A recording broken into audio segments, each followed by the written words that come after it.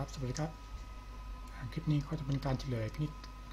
การบ้านปิดเทอมวิทยาศาสตร์พื้นฐานม .5 สำหรับคลิปนี้เป็นข้อที่3นะครับเรามาดูโจทย์นะข้อที่ 3 โจทย์ให้หาจากการกระจาย 2m ยก n ยกกำลัง 7 โดยการใช้ทฤษฎีบทที่นามจงหาคำตอบต่อไปนี้ ไปดูข้อย่อยข้อที่1ครับข้อย่อยข้อที่ 1 โจทย์ให้หาพจน์ที่ 5 ของการกระจายสูตรครับ t r บวก1เท่ากับ c n r x กำลัง n ลบ r แล้วก็ y ยกกำลัง r เราก็จะค่า r มาในสูตรแล้ว r วิธีการคิดค่า r คือเลขอะไรบวก 1 แล้วได้ 5 ครับ r ก็ต้องเป็น4แล้ว4บวก 1 ได้5แทนค่า r เป็นเลข4ครับต่อไปแทนค่า n n จากโจทย์ n คือเลข7นะแทนค่า n คือเลข7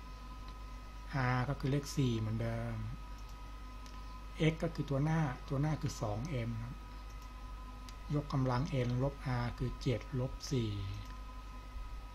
y คือตัวหลัง ตัวหลังต้องเป็นลบ n ครับแต่เป็นลบ n ยกกำลัง r r คือเลข 4 เหมือนเดิม ยกกำลัง 4 4 บวก 1 ก็เป็น 5 ก็เป็น t 5 t 5คือพจน์ที่ 5 ตรงกับโจทย์พจน์ที่ 5 เราก็ต้องหา c 7 4ว่า c 7 4มีค่าเท่าไหร่ ใช้สูตรตัวนี้ครับ cnr เท่ากับ n แฝกหารด้วย n ลบ r แฝกก็ต่อด้วย r แฝกจันจันค่า n แฝกก่อน n คือเลข 7 คือเป็น 7 แฝกข้างล่างเป็น n ลบ r แฝก n ลบ r คือ 7 ลบ 4 7 ลบ 4 ได้3ก็เป็น 3 แฝก แล้วก็ต่อด้วย r แฝก r ก็คือเลข 4 ก็ต่อด้วย 4 แฝก 2m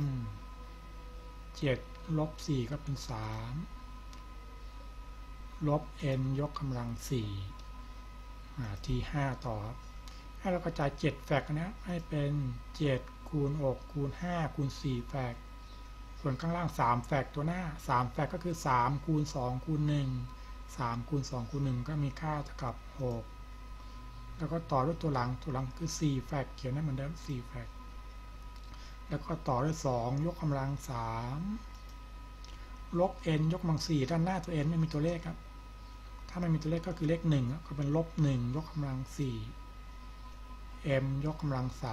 3แล้วก็ n ยกกำลัง4เรามาที่5ต่อครับ4แฝกตัดกับ4แฝก6ตัดกับ6ก็เหลือ7คูณ5 7คูณ5ก็กลายเป็น35 2ยกกำลัง3อะ2คูณกัน3ตัวก็ได้8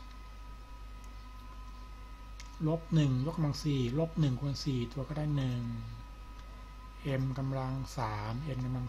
4อะสุดท้ายตอบที่5หรือพจน์ที่5ก็เอาเลข3ตัวนี้มาคูณนะคูณกันได้เท่ากับ280 m กำลัง3 n กำลัง4แล้วก็ได้คำตอบนะต่อไปก็ไปดูข้อย่อยข้อที่2กันต่อ ข้อย่อยข้อที่2โจทย์ให้หาพจน์ที่ไม่มี m สูตรตัวเดิม tr บวกหนึ่งก็ cnr x กำลัง n ลบ r แล้วก็ y ยกกำลัง r พจน์ที่ไม่มี m m คือตัวหน้า ตัวหน้าคือตัว x คำว่าไม่มีก็หมายถึงว่าเป็นเลขศูนย์นะตัวหน้าคือตัว x x ยกกำลัง n ลบ r n ลบ r ก็ต้องเท่ากับเลขศูนย์นะครับ ให้เราแทนค่า n ตัวนั้น n ตัวหน้านะแทนค่า n ให้เป็นเลขอะไรตามโจทย์ n คือเลข7ก็กลายเป็น7ลบ r กับ0แก้สมการหาค่า r ว่า r คือเลขอะไร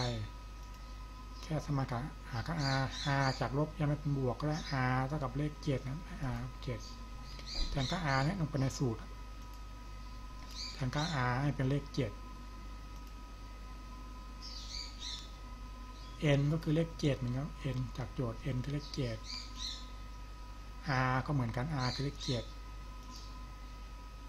x คือตัวหน้า ตัวหน้าคือ 2m ยกกำลัง n ลบ r n ลบ r คือ 7 ลบ 7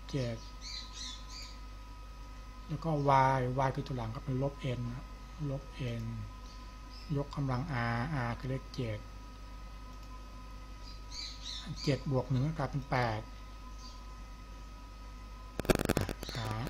c 7 7นะครับ7บวก1ก็กลายเป็น8ฉะนั้นพจน์ที่ไม่มี m ครับก็คือพจน์ที่8เท่ากับ c 7 7หาค่า c 7 7ก็สูตรนี้ CNR เท่ากับ n แฝกหารใน n ลบ r แฝกก็ต่อด้วย r แฝกฉะนั้น n นั่นก็เรียกว่า n ก็เรียก7ก็กลายเป็น7แฝกตัวล่างมัน n ลบ r แฝก n ลบ r คือ7ลบ7 7ลบ7ก็ได้0ก็กลายเป็น0แฝก ต่อด้วย r แฝก r คือเลข7ก็กลายเป็น7แฝก 2m เขียนได้เหมือนเดิม7ลบ7ก็ได้0อะเขียนเลข0ลบ n ยกกำลัง7เราก็ได้ t 8ครับแล้ว7แฝกกับ7แฝกตัดกันได้ ตัดกันได้1อะเขียนเลข1ก่อนส่วนข้างล่างก็เหลือ0แฝก0แฝกมีค่ากับ1อะ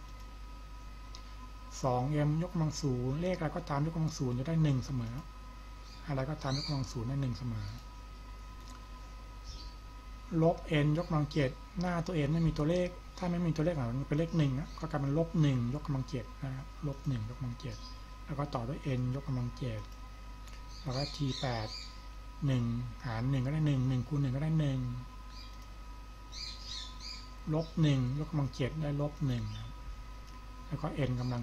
7จนก็ในสุดท้ายตอบแล้ว1คูณ1ได้1เครื่องหมายติดลบก็เป็นลบ1เลข1ไม่ต้องเขียนเขียน n ยกกำลัง7แล้ว ก็ตอบ t 8คือพจน์ที่ไม่มี m ก็มีเฉพาะตัว n นะเฉพาะตัว n เป็นลบ n ยกกำลัง7แล้วก็ได้คำตอบของข้อที่2ครับครับก็เป็นการเสร็จสิ้นของการเฉลยการบ้านปิดเทอมข้อที่3เนอะเดี๋ยวคลิปหน้ามาเจอกันต่อข้อที่4ครับ สำหรับคลิปนี้สวัสดีครับ